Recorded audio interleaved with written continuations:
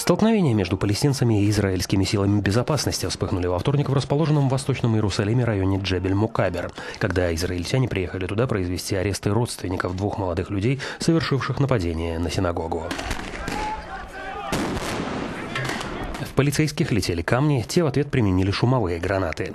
Израильские власти подтвердили задержание девяти палестинцев, некоторые из них, как утверждается, связанные с нападавшими.